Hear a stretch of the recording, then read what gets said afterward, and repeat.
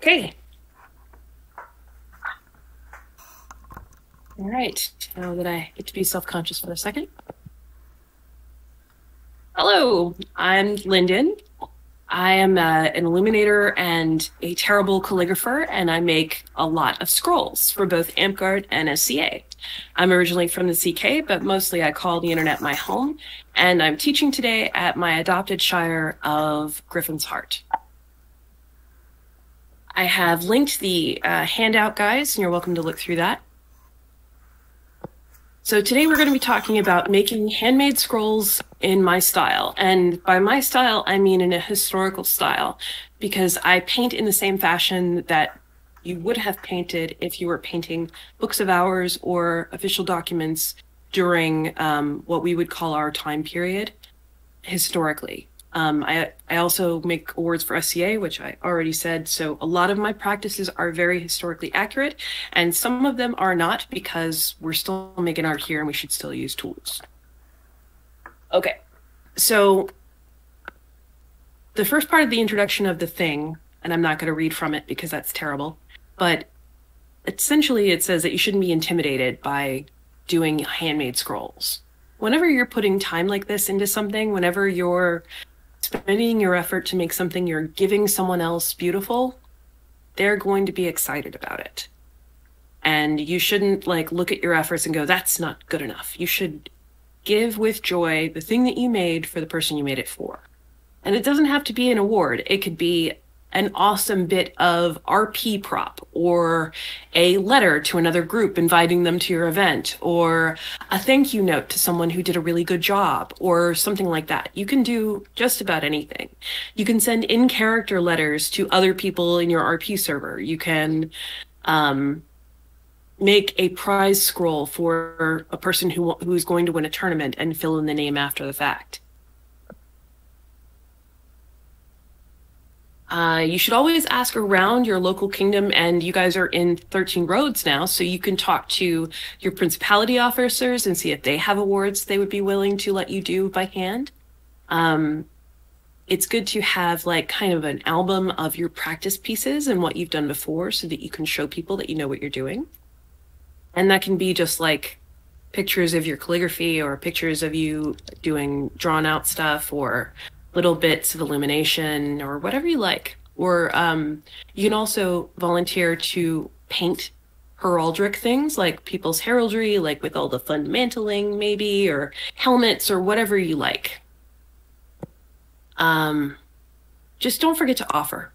Offer to your local group, offer to groups near you, offer to groups far away and come and join the Amtgard Scribes Guild because we try to encourage you and also people will bring commissions there that you can take up, whether for donation or for money.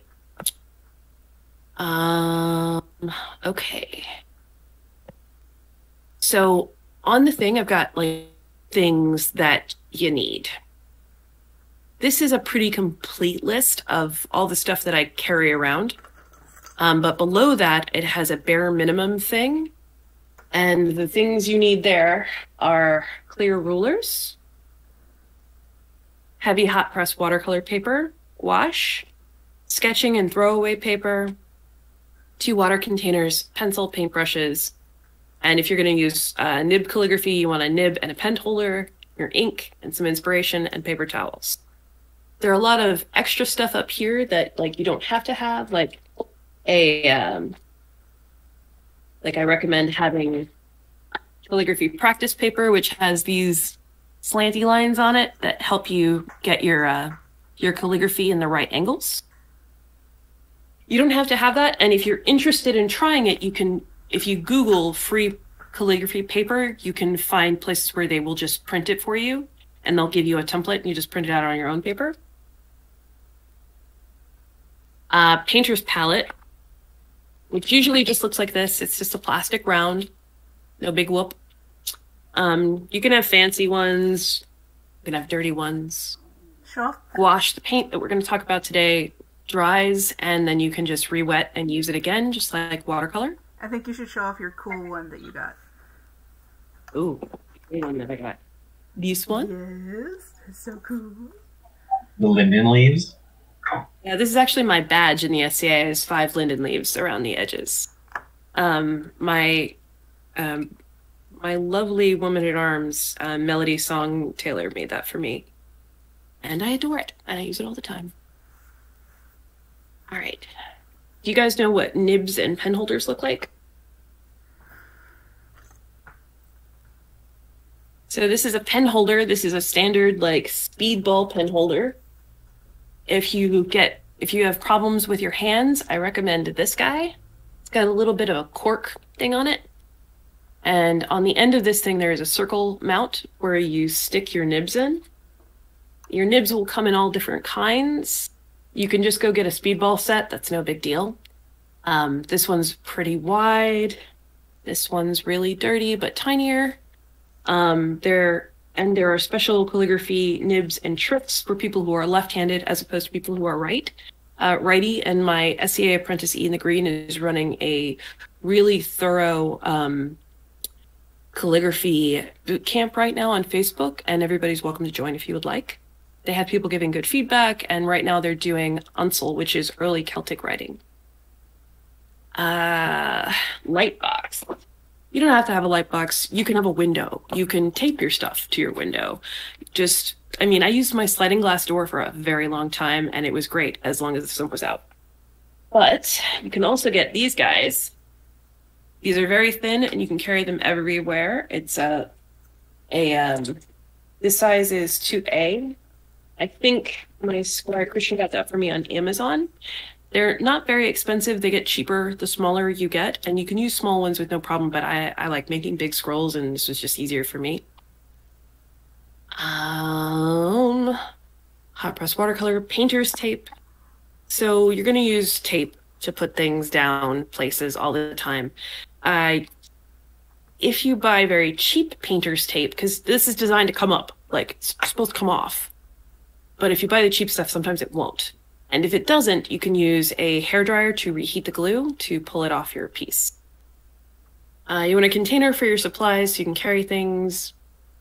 That can be a bag. It doesn't have to be fancy. Um, I don't even think I can move it because it's really heavy. But I have a, yeah, no, I'll you can see. This uh, sewing box right here. It's uh, like, it's, it's like a turn of the century sewing box a friend of mine's dad made it, and they didn't want it anymore, and it's the perfect paint box. Because it does this.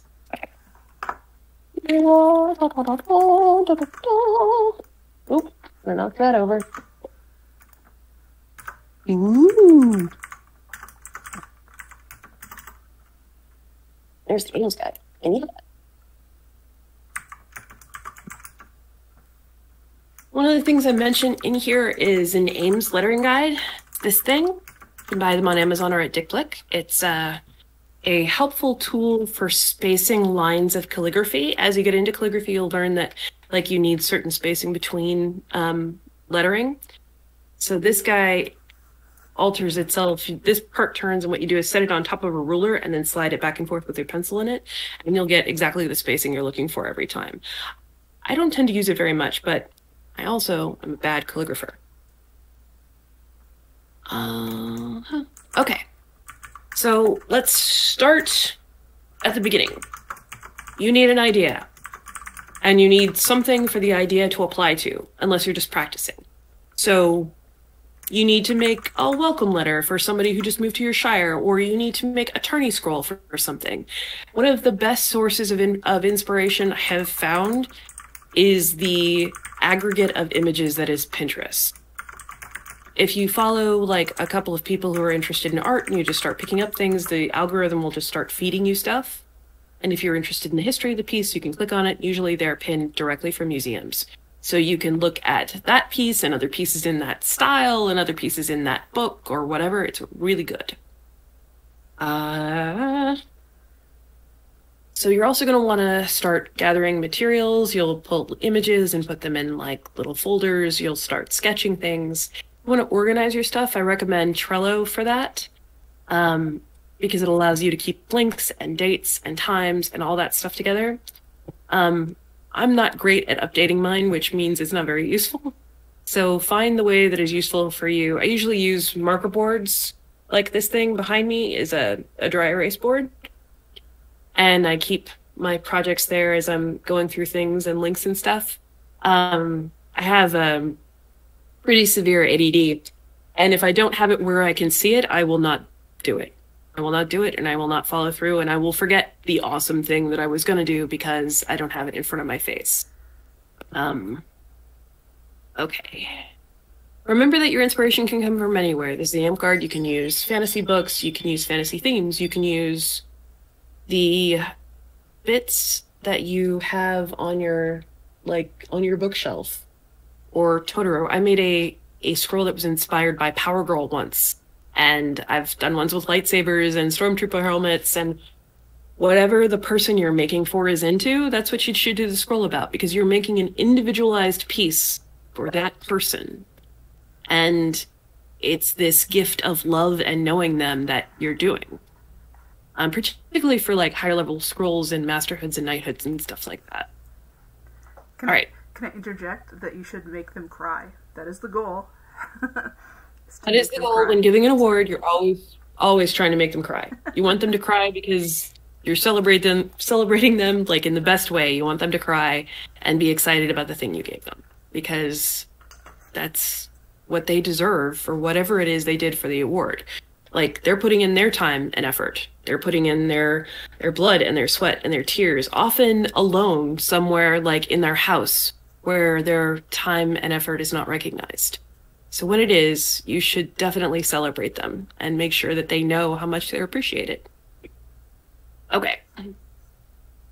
So you want to break down as you're getting your ideas together, you want to break them down into individual pieces and start thinking about how they go together. Should you include like pieces of the uh, elements of an award? Like it, if it's like a rose does it have roses on it? Does it have like references to the pieces that that person did in order to make that or in order to get the award? Um, like if the person is an artist you might include images alluding to that art or like tools of theirs um, you want to include your chapter's heraldry if it's for your chapter and you want to include your kingdom heraldry if it's at the kingdom level um, and that goes with for uh, personal heraldry as well. I also have somewhere, I think it's not actually attached to this, and I should put it in there, a kind of rubric for how you ask people what they want in a scroll, like what colors they like, what colors they hate, what things they like, and not including something that somebody hates is just as important as including stuff they like. Okay, so you want to break apart your pieces, and then you want to take a piece of scrap paper and you want to sketch out your whole design. And I know this sounds like you're doing it twice, but you're not. Trust me, you don't want to draw your whole design on your good paper. Partly because watercolor paper has a sort of memory. The fibers will compress and they will leave dents. You will not be able to get all of the all of the guidelines and all of the sketch lines out of that paper you want to do all of your sketching on scrap paper or in your computer. I know uh, Kelly in particular does this. Uh, Luminary Alo- Alona does it in her computer and then uses that as her as her cartoon, which is the part we're going to talk about now.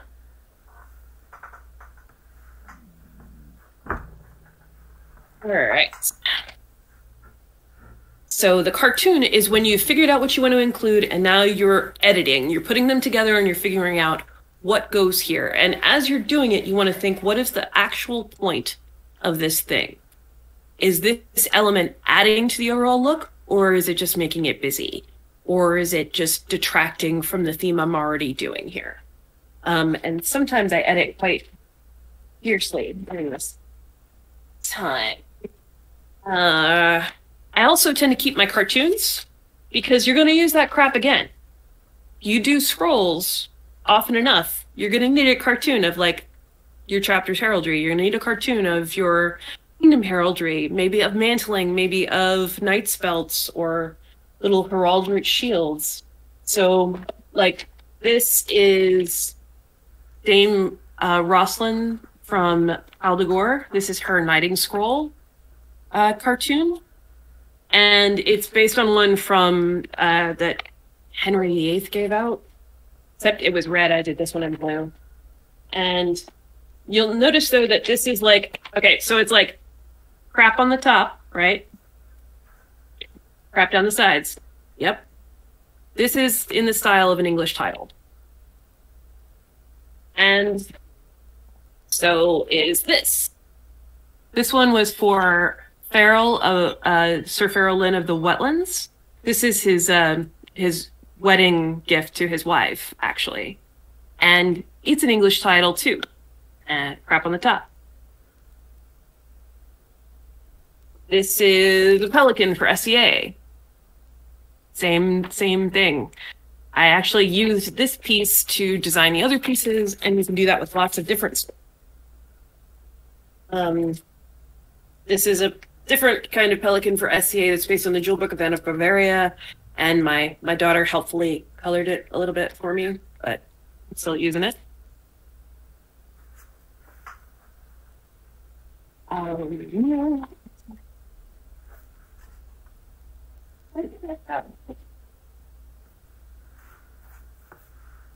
This is the Kingdom Charter for uh,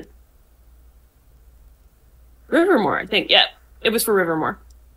So this is the Kingdom Charter for Rivermoor. Kingdom Charters always have a circle of the heraldries of all the kingdoms. Sometimes I make it into a uh, like a, a necklace of office, and I always rotate the bottom heraldry to the bottom, and then put the um, this is the parent kingdom, and this is the kingdom that was being made. Um, when you're doing kingdom level stuff, knighthoods, masterhoods, and stuff, I always try to sneak a phoenix in there because that is the symbol of Amtgard.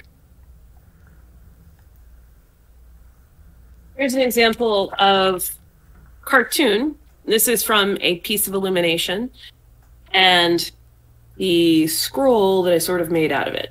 I stopped this one because I just could, I there was a problem with the shading; it just wasn't working. But uh, you can see how you go from this to this. Does anybody have any questions?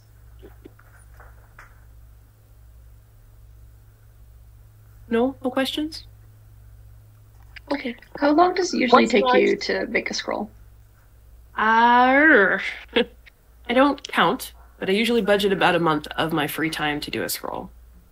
But I paint slow, and also I do too much. Like you don't have to be as like crazy ornate. I don't like the calligraphy, so I will paint all the freaking paper. I will paint as much paper as I can, and then I will like do the text in this little tiny thing at the bottom because I don't I don't like the calligraphy and I love to paint. It doesn't have to be like that. Uh, whatever balance you choose is fine. Um, if uh, I'm honest, I probably spend about a week solid painting like a a night scroll or a uh, or a bit of um, like an important scroll. Um, if I'm doing something smaller, it might take me less time, but I spend a lot of time thinking about it and how to put it together and like making sketches and discarding them, stuff like that. What was the other question? What size of scrolls do you normally make? Um, so the biggest I go generally is 20 by 26. You want to look at standard available frame sizes and make the scrolls fit in frames because you want to encourage people to put them on their wall. Um, so check local, uh, check your frame sizes and use standard frame sizes. 11 by 14 is a pretty good one. That's what I usually do for uh, baronial awards, stuff in my local group, and things like that, or for like tourney, uh, uh, tourney prize scrolls. And then a knighting scroll can be bigger than that. For Peter the Quick, I gave him I like had this design, and I didn't think about how big the design was, and so I made him a scroll that I had to like. I had to cut out a piece of styrofoam that was the size of the paper and tape it to that. Because my clipboard which i usually use which is this big was too small. So i don't know how i got that framed think about your frame sizes be kind to your recipients don't like make it hard to get it framed because custom framing is way expensive Um, I absolutely recommend 11 by 14. You can buy a standard package of watercolor paper in 11 by 14. Um, you can also buy larger larger sizes. Um, I tend to buy large sheets of arches and then cut out my pieces. Uh, partly because they come in different poundages and I like using it, and partly because then I only have to pay seven dollars for a sheet that I might make three scrolls out of instead of paying fifty dollars for a whole package of paper, which I just don't usually have there. Um, okay, so as you begin your design, you're doing the design, and you're looking at all your pieces. You want to make sure that you're leaving a margin on the edge of your intended size of paper. Um, I used to used to call this a page ditch because I was self-taught, but it's actually a margin.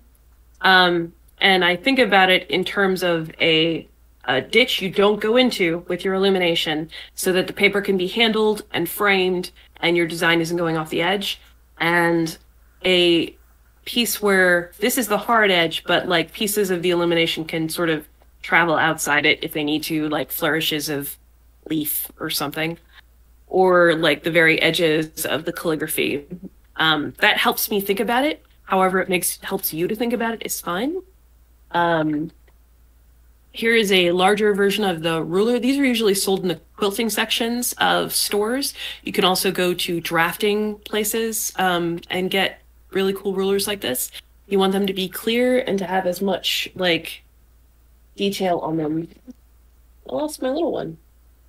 I don't know. It's around here someplace.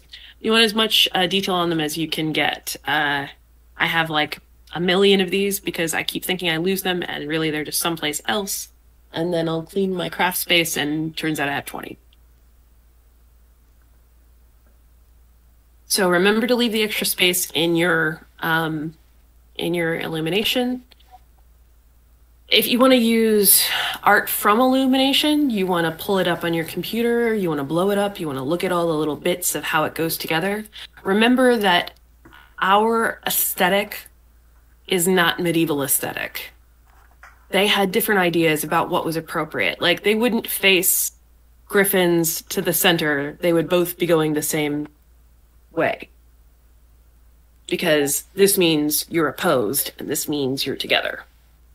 You had a So- question on Yes. the workshop. I'm sorry I didn't see who it was because it disappeared, but it said, uh, "What advice would you have for beginners who are basically intimidated by your skill?" And Trace. and then I didn't catch the rest of it. It disappeared. Does any who was that? Does anybody want to fess up? You should trace. If you're worried about like working or you're trying to figure out how to draw, trace, sketch, doodle a little bit every day. That's all I did. And I'm not I'm not a very good artist. I just like shading and painting. So I just work at it all the time and that's how I got here. Um I was not one of those people who just like can just go bleh and like make an awesome thing. I work at it a lot and if it's important to you, then you can do that too. Just spend a little time drawing and tracing and working on your stuff every day, and you will get better. You will get better um, at fast and then a little bit slower.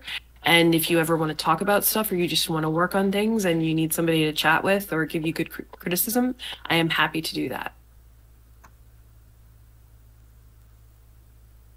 Okay, Okay. I guess you you must have answered your question. So okay, we're good. Sorry. Oh, okay. Does anybody else have anything? No? All right. I was gonna say, can I comment on that for Yes, learning to please. draw? When I was a kid and I first started learning how to draw, I just picked something I loved and just kept drawing it over and over and over again. And I'm talking like we're talking 87, 86. So Ninja Turtles was my thing, and I started learning with that. And you know, always look at what you've drawn and compare it to what the source material is, and figure out you know what you're doing different than the source material. Or is your anatomy right? Is your you know just keep doing it and doing it and doing it. And every now and then you're going to have a breakthrough where you're going to go wow i'm drawing the side view of an arm on the front view of a person. Okay i just figured that out because i learned how to draw from action figures Yeah, you just have to you just have to sketch and you have to look at art. and you have to absorb other people's like look at how other people do things and try to figure out how they're using their lines and just think about it. I catch myself like looking at how the light goes through a glass and hits water and thinking about how I would render that all the time. You're just constantly thinking about it and working on it and it's I'm better now than I was last year and I'm better I'm I'm uh, I was better last year than I was 2 years ago. And you're just constantly improving in little ways that sometimes only you can see.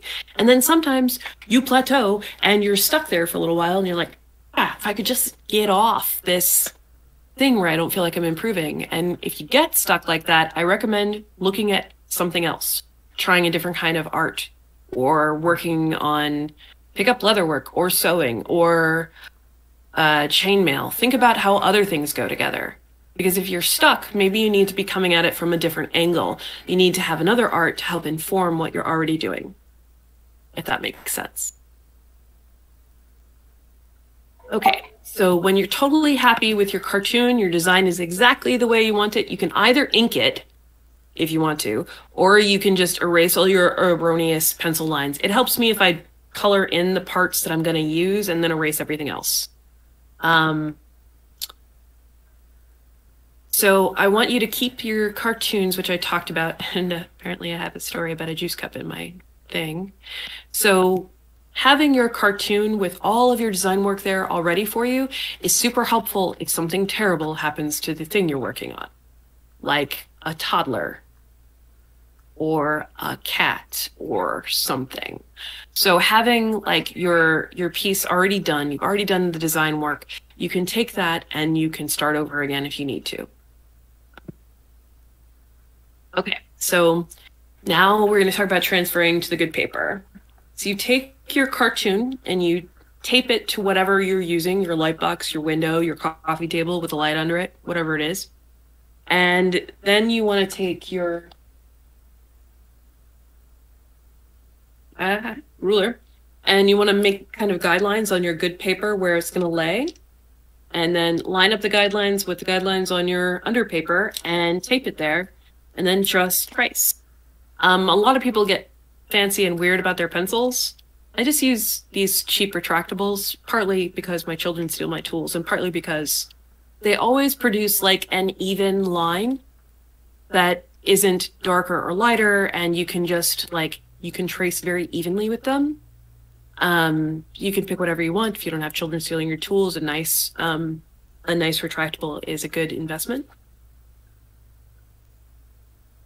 Uh, make sure that you've included everything else. Uh, some people like to wear gloves when they do this so they don't transfer oils to the paper. Just wash your hands first, should be okay. And wash your hands even if you think they're clean because you have oils on your hands and you're going to transfer them to the paper and then you're going to see them later and you're going to be like, what the hell was that? It's going to smudge your graphite and everything will be terrible. Okay. So make sure to use the to turn off your uh, if you can turn off the light you're using on your light table. It's a good way to check if you've uh, traced everything.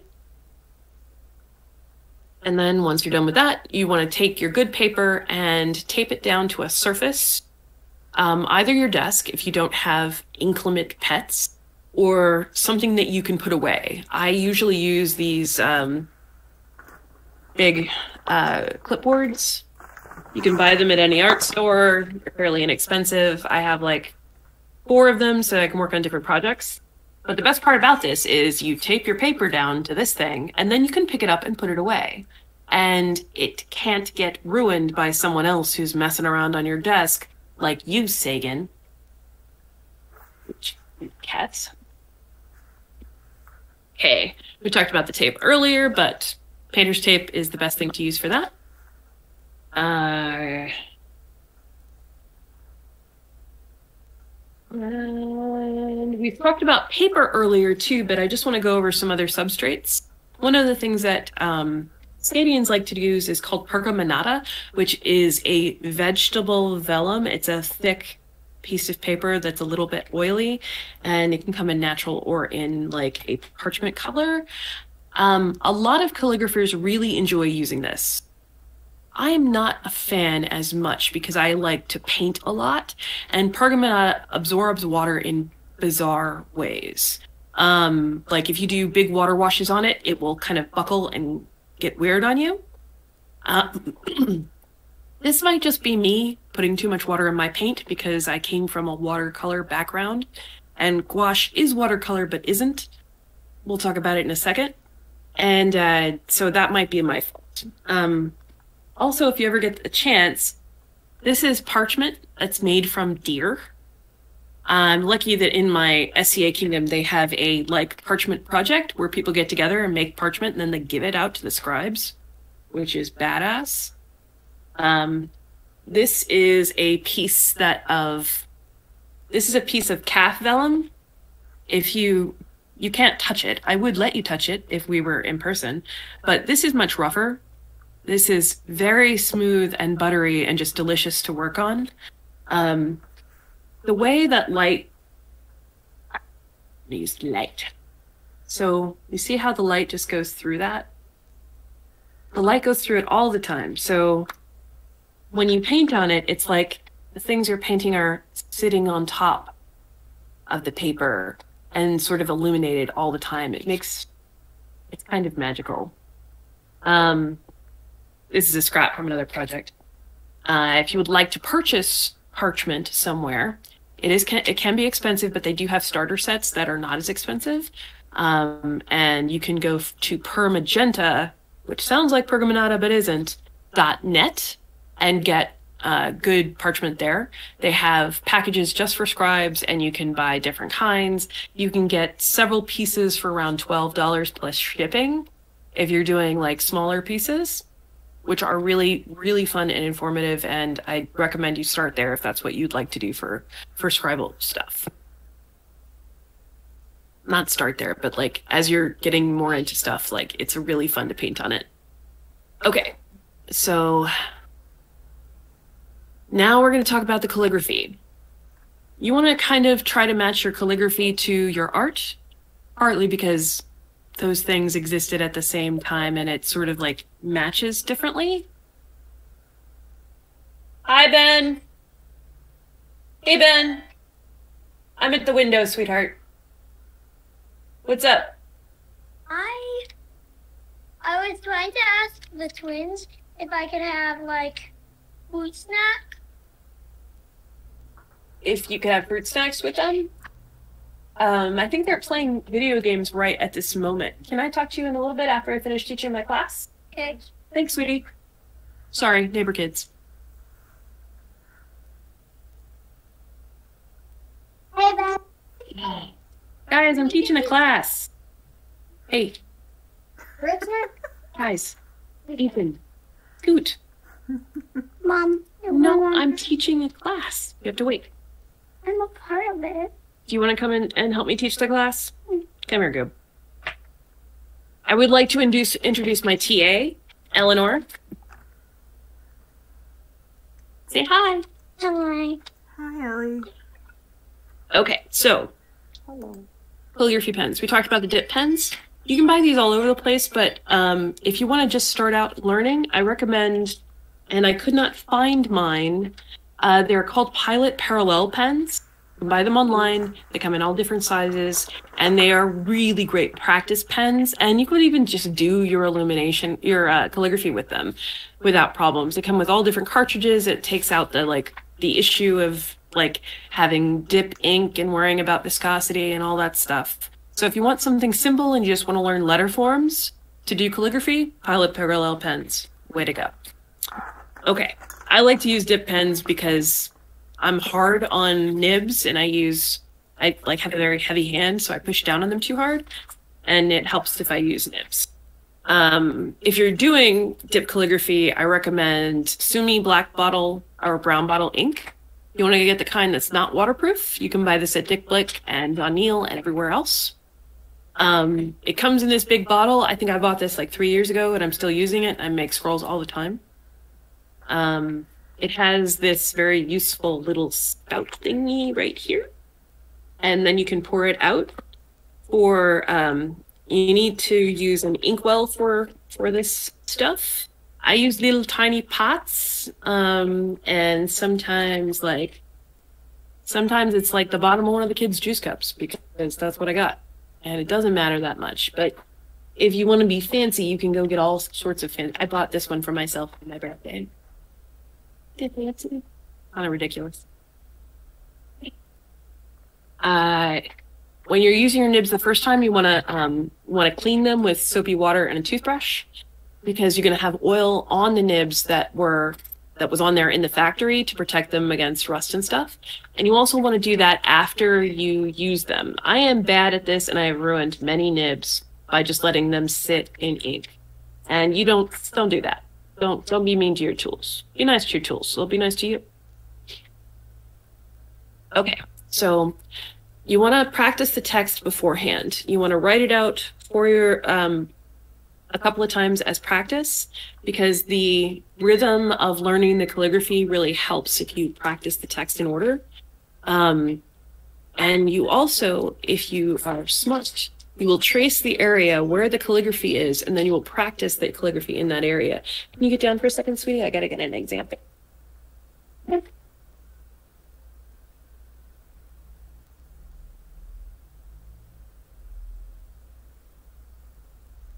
Oh, where'd it go? While she is grabbing her example, if you have not signed in, please do. And we give two points for participation in the workshop today. Sweet. I can't find it, but all right. So this is Sir Watt's scroll from Rising Winds. And what we did was trace the area that was going to be the calligraphy and then practice the calligraphy in that space. Especially if you want like a name to be bigger or more prominent or something like that, or you want like uh, you want it to fit in a certain weird space, having practice in the space is super useful. All right, come here, girl. Um, and I I have an example of my friend, uh, Mistress Ellen, who does my calligraphy when I can't, uh, she's a much better calligraphy calligrapher than me. And also, I recommend that in general. This was not a job for one person in period. One person would, it wasn't even a job for two people. Like, usually somebody would design, and then somebody else would paint. Somebody else would make the paints, somebody else would make the ink, and then somebody else would do the calligraphy. Doing joint projects is totally appropriate. And also, it's really fun, especially because doing stuff like this is a little bit, um, you're doing it by yourself in your house. So, working on joint projects is really rewarding. Uh, also, when you're doing your calligraphy, you want to keep your text handy where you can see it.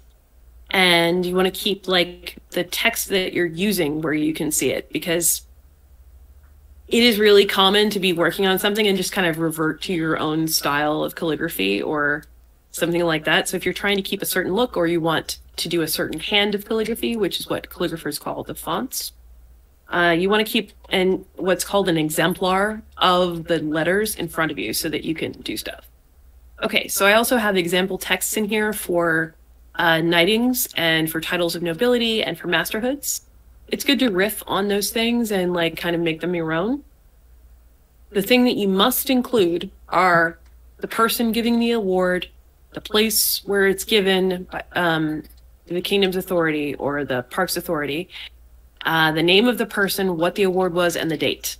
Everything else is like gravy and extra. So if it's it doesn't fit and you're only putting in a little bit or something like that, you don't have to. Um, okay. So this is where I talk about the gold work, and this is not something that I imagine everybody's going to get into early, but gilding scrolls is super fun um if you're doing raised work like because you can do like puffed calligraphy uh puffed um where it's like it comes up off the paper and you can tool in the gold work and it's awesome. Or you can uh or you can just do flat gild work. Or are you leaving? Okay well bye eleanor. Bye. Let's see if i can find my Finetec palette Here's one. But you don't want to work with, you want things to be shiny and you don't want it to be like, I'm going to handle gold leaf in this weird way and I'm going to have to buy a burnisher and like work on this and be very anxious. Buy this thing. This is a Finetec gold palette. I think it's sold under Cora Coriolis now. Um, it is really almost indistinguishable from shell gold. It's about $25 for this thing, but it lasts forever and it goes on so nice and it acts just like watercolor so you can just lay it on top of things, no big deal. I use it all the time. Um, okay, now the paint. So we're talking about painting with gouache. Does anybody know what that is? No. Yep, I I do. Yes. okay. I just didn't know how much I needed to explain to everybody. All right, so uh, this is gouache. It comes in these little tubes. You can buy it at Hobby Lobby or wherever. It's um, it's like opaque watercolor, and it's usually called that. You want to buy the Turner, uh, like the design gouache. Don't get ones that say acryl on the tube, because that's acrylic paint that sort of acts like gouache but isn't, and it doesn't. Um, it doesn't do the same sort of things that you can do with gouache. Um, and it just it dries and becomes plastic just like every other acrylic you've ever used. I do keep some acryl in my kit, like I keep a white and black. So if I am doing something that I don't want to move ever, if you use the acrylic, it will be consistent. There was um on the West March Kingdom scroll, their their heraldry is a black castle with white brick outlines on a red background. And I didn't want the white brick outlines to go anywhere, so I just traced them in in the white acrylic. And it was very fortunate because later that day I spilled a whole cup of water on that scroll. Like a whole cup of water. And the white stayed where it was, and I was able to save it because because of that. Or because I was stubborn and I didn't want to paint it again. Probably the second thing. Okay, so gouache comes, uh, you can buy it from all different places. I usually use Turner, which is like middle of the road, higher end. You go to, especially like if you have a college in your area and you go to the college art supply shop, you can buy these stupid cheap. It's about between four and six dollars for a tube of paint, and they last forever. You can dry them out in your paint palette, and you can use them again, and it, they go a long way. I got my first ones accidentally in a somebody gave me one of those like um, calligraphy kits, and it happened to have like two colors of gouache in it. And I was like, "What is this? I will use it to paint over here." And as when I first put it down on something, and I was like, "Oh." So the magic of gouache, which I'm not explaining very well, is that you can come back to it later and wet blend it into anything. I often have to stop my project and go do something else. I have kids, I've got a life, I've got to like stop doing this and go do. I can go back and wet blend into whatever. You take a wet brush and you can smooth the edges and blend it into the color next to it and smooth that transition if you didn't notice it at the time or you need to fix something later. And it is brilliant to work with. I absolutely recommend it. Can I also recommend one other awesome part? The part that I love about it is that you can put Mhm. lights on top of darks. That blows Yes, my mind. you can. Blows my mind. So that's why I like it.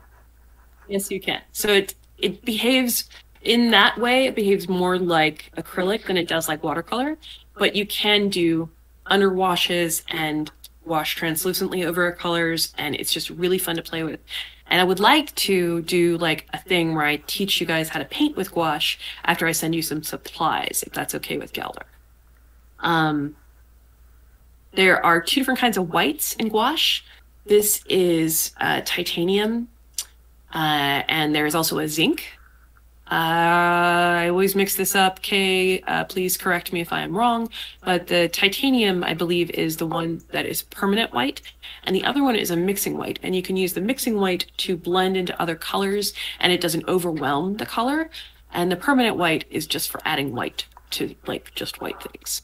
And I know it seems silly to have two, but it's very useful. Um, when you're blending paints, and you're trying like blue and red make purple, right? Not always. Uh, so this red is a crimson, which has a cool tone to it. You're not, you don't ever get color that is just the color.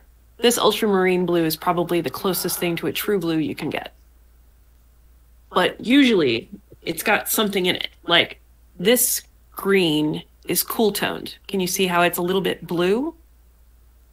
And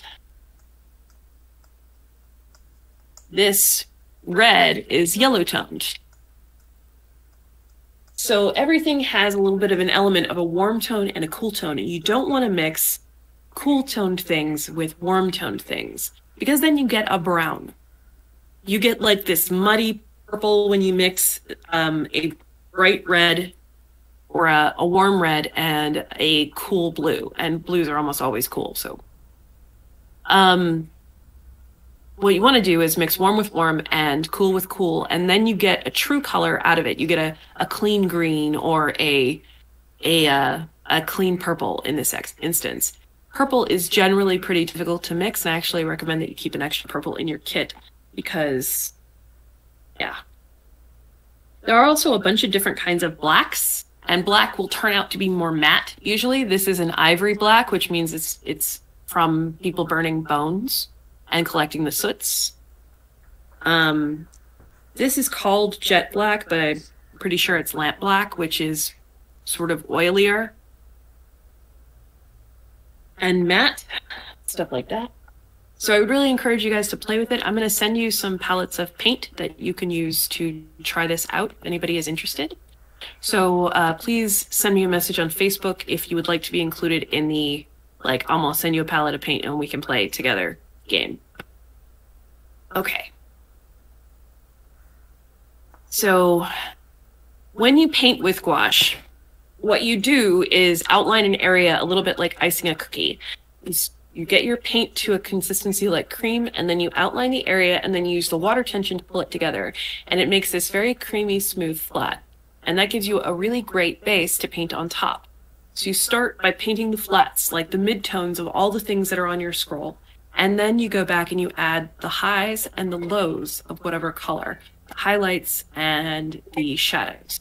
And because you're mixing into that ground color, everything looks like it's all part of one piece and it's really easy to make very smooth transitions. Okay, so at last, you're going to want to clean up anything on the scroll, pencil lines, or things that are like sticking out to you or something that turned out too light or too dark. And then you want to um, take a smooth, clean brush, and there's going to be little lines and little jogs where your your paintbrush went someplace it wasn't supposed to. With gouache, you can take a damp brush and clean that edge until it is smooth. And I, I swear it saves me more times than I can count. On the back of the scroll, you want to include your name in case you're giving it to somebody you don't know or just in general. And you want to include the text of the scroll because usually in court, what they're doing is they're holding up the scroll like this so the populace can see it. And the herald or whoever's reading it can't doesn't know what's on the front. So if you write the text of the scroll on the back, then they can read it. You also want to put you also want to sign your name on the front oh, there are scribes everywhere who are like, no, don't do it. Don't sign your thing. You made art. You made art and you should sign it. And if the person you're giving it to appreciates it, they will understand. Put it someplace where it won't interfere with the design, where it's kind of hidden, but always sign your art. You can do that with like, um, like a little bit of your personal heraldry. I usually hide a linden leaf somewhere in my art. Um, and also sometimes I hide Kelly's because that's fun to me. Uh, and uh, put your name and like the year or something like that where you where you would sign your scroll. Okay, now we are at the glossary where we're talking about all the things that we were talking about. I had And your mom now- jokes in mind. What? I had your mom jokes in mind. You should do that. That's fun too. Yeah. So, what do you guys want to know? Did I just intimidate you with a bunch of like stuff? Is that too much? I can never tell. You're fine. No? I have a question for you because Yeah. you do your cartoon and then you tape it to your light box and then tape that down Mm-hmm. and then you draw with p- pencil on top of it. Have you ever just done because I just straight up just started tracing with the micron pen so that I don't have to go back and erase all of my pencil marks because Ah. or painting it directly because I am smart SMRT. I I don't because I'm like I'm not careful as a person. Like I'm just not a careful person. So I always trace it in pencil first. Um, you can trace it in ink if you're confident about it. Why not? Okay, just wondering because like that might I don't know I have a problem with the pencil marks if I don't and uh, Mhm. because pencil I was using what was I using before I used a transfer paper for Mhm. some and like that is not you can't it's hydrophobic. So the Yeah. paint will just slide off of it. Like here's all of my marks everywhere. Look at all of my outlines. So.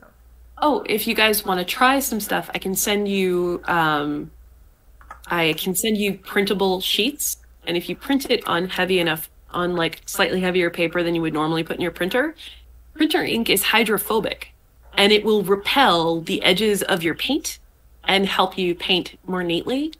Um, I can send you a bunch of uh, of tracings of illumination if you guys just want to try that. Yeah, I, actually, I did. Um, I have a, a on my website. I have a whole bunch of like color in your these awards for Mhm. people. So yeah, because you can do that, and that's what I did. It depends on. I haven't tried it with my laser printer yet, but inkjet definitely does. Inkjet definitely does. Yeah. I I haven't tried it on my laser printer either. Well, I have a. But Inkjet totally does. So if you have to, you could go to a Kinko's and do the thing, and it's great. All right.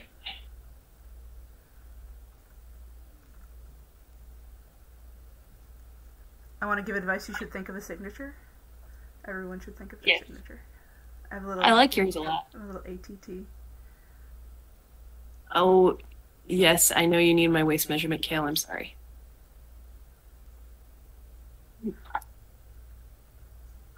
It's all good. sorry, I've been. I took apart my my garage yesterday and started resorting all of my fabric and actually putting it in bins instead of not where it was. And uh, like our whole house has been covered in wool and linen for like two days. And we just got it back in the boxes. and I haven't like done very much else. It's okay. I'm Canadian, so when you bump into me, I'm the one who says sorry. Fair enough. Does anybody else have any questions about making scrolls? Would anybody be interested in me sending them a kit to help them make scrolls? Ooh, I would be interested in a kit. Okay. I would also really like to do like a basic painting class if that is helpful to people, and also like a sketching class. Um, and Kale, who is my squire from Canada, because we like Canadians today, is uh, working on doing a leather class. Do you want to do tooling or do you want to do armor making? Because you could do armor making and I could do tooling. I can do armor making because that, that's that's a really interesting one. There's so many different styles and techniques that we can teach with that, right down to saran wrap and duct taping yourself to Mhm. downloading patterns or just knowing anatomy and using muscle structure to guide your armor shapes. How would you guys feel about that? I am up for just about anything. Okay. I will do the then I will do the tooling class and uh, not this coming Sunday, but the one after, and then after that it is you on armor. Cool. So, Uh, for just a heads up for anyone who wants to make armor, one of the best books you can get, and it applies to drawing as well, is um, Dynamic Figure Drawing. Because that book, when you look through it, it shows where muscles move when you move, and it helps you design your pieces to not be in the way of those joints. this is a good this is a good tool to have. Um, if you're looking for books on drawing, I also recommend drawing on the right side of the brain, um, which teaches you to draw um, draw the thing in front of you rather than teaching you to draw like symbolism. You know how when you're a kid and you draw like the waves of the ocean a, a certain way and the water in the cup is blue and like you're drawing symbols. You're not actually drawing the piece in front of you. You're not thinking about the shape and the way that the light falls on it. And I swear that book will kick you out of that in like two days if you're interested. Kind of reminds me of like Egyptian artwork. Mhm. How they're very like, this is what this means, and then they went very briefly into like, no, we're gonna actually, like, we're gonna actually show you how you. It. And then they're like, oh no, we can't do that, and they went, they went, erased everything, said, no, we're, we didn't do this. We're back to the symbolism. Everyone's We're all not- like, yeah. We're not doing hy- uh, hieratic right now. Like we're only gonna do that for scribes. You guys, you guys only hieroglyphs for We don't, we don't understand contrapposto. People don't have weight. It doesn't work.